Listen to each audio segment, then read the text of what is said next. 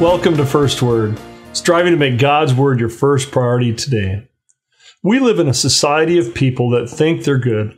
Medical professionals, religious leaders, and others have falsely encouraged this. In fact, I've heard Christian parents reprimand their children for lying to their teacher by saying, I know you're a good kid, but, or even a father to his drunken son, Mom and I love you and know you're a good boy, but, I hope that those of you listening today will get a hold of what Paul is teaching us in Romans 3, verses 9 to 20. What then? Are we Jews any better off? No, not at all. For we are already charged that all, both Jews and Greeks, are under sin. As it is written, none is righteous, no, not one. No one understands, no one seeks for God.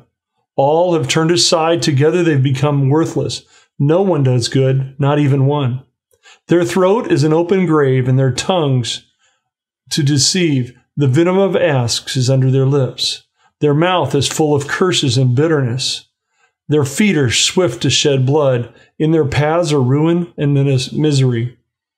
The way of peace they have not known. There is no fear of God before their eyes.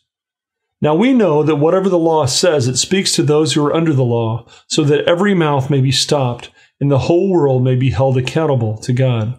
For by the works of the law, no human being will be justified in his sight, since through the law comes a knowledge of sin. Here in this passage, Paul is finishing up his opening section of Romans. In chapter 1, he explains the moral condition of those who reject God. And in chapter 2, he explained the true moral condition of the religious Jew. He did not show any favoritism. He comes to a conclusion in verse 9 that all are under sin, both Jews and Greeks.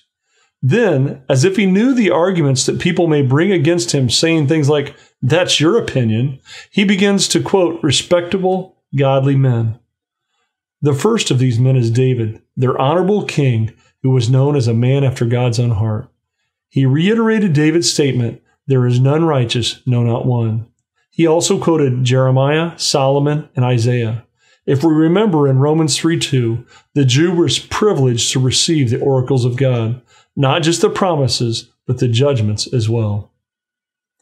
What we need to realize is that Paul was not just calling on the quotations of godly men, but when he said, as it is written, he was referring to God's inspired word. So he was not calling on the ju- on just the authority of godly men, but it was calling on the authority of God himself. Indeed, none of us are without sin. No man alone can stand before God and declare righteous, be declared righteous without trusting in Jesus Christ for salvation. Thank you for joining us at First Word. May you recognize your sinfulness and turn to Christ for salvation.